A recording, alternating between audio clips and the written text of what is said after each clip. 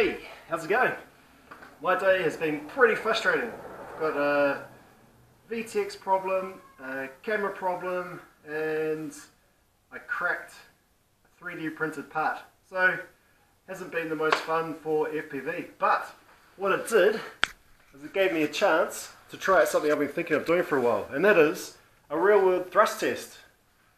How you might say? Well, what I thought, if I take my quad, which are these, these have got the BR2205, not the S, these are 2600 kV motors with some ZTW 25 amp props, and get a big four cell battery that I've made, and see how much it can lift. Obviously, I've been looking at the thrust charts, and I wanted to know how much can it really do. So this is how it went. Alright, so these are the Racerstar uh, BR2205s that I was talking about.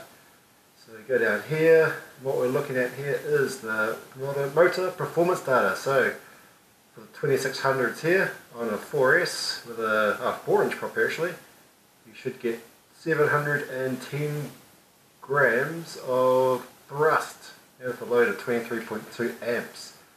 So with a 5 inch prop you should get probably a little bit more than that. So it's going to be interesting. Let's go and do the test and see how much we actually can get.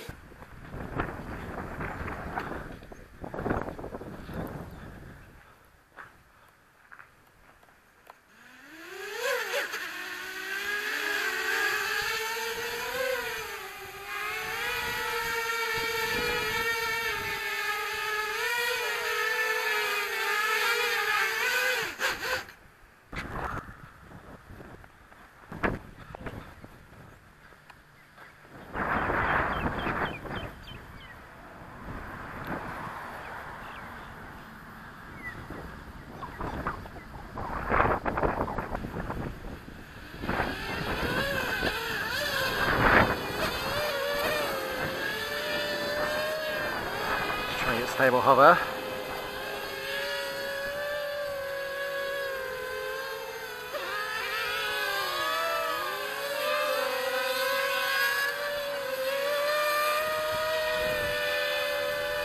Love it. There we go.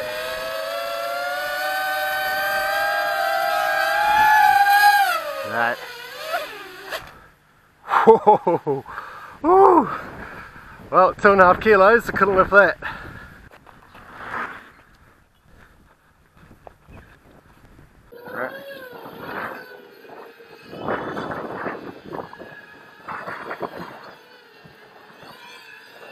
Let's get up here.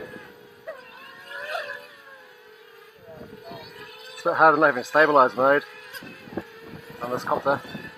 So to get that, come on, get uh, try and get balance. Alright.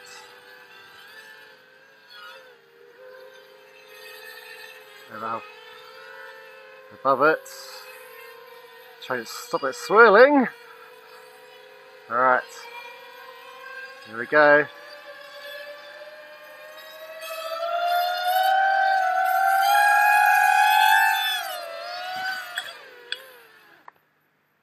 Whoa!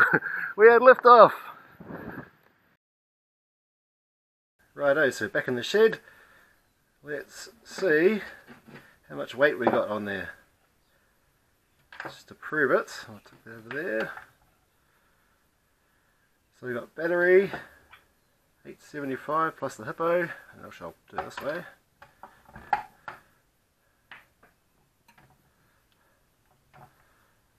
So the old Racerstar does at least 2.6 kilos. So 650 grams, I was hoping to get a little bit more and perhaps if I'd keep pushing a little bit further, might have got another 20, 30, 40 grams. So sitting around the uh, what's that? Sitting around the 700 grams of thrust probably with these DAL 5045 dual blade props or yeah, not tri props, normal props. So there's a test that's done in the real world and on this frame with this ESC combo and these motors a little bit lower than what I thought but around about that 700 gram mark so all in all not too bad. Cheers! Alright I hope you enjoyed that video I really enjoy making the content for this channel, and if you want to support it, the best way you can do that is heading over to killadrones.com and picking up one of the raffles that are currently happening at the moment. I don't make any money off the raffles, all it is is a system that enables me to keep on purchasing new things, to keep trying out a whole bunch of new stuff, to keep the information coming to you. Plus, you also can win some really cool stuff. Thanks again for your support, and see you next time.